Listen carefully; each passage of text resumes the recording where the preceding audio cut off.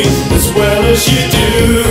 You know how hard it is for me to shake the disease that takes hold of my tongue in situations like these.